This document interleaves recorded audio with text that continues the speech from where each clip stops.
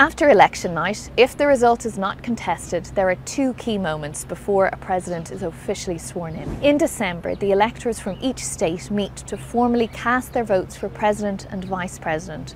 Now remember, Americans are not directly voting for the president, they're actually voting for a group of 538 people called electors who make up the Electoral College. And electors vote for the president on behalf of the state they represent.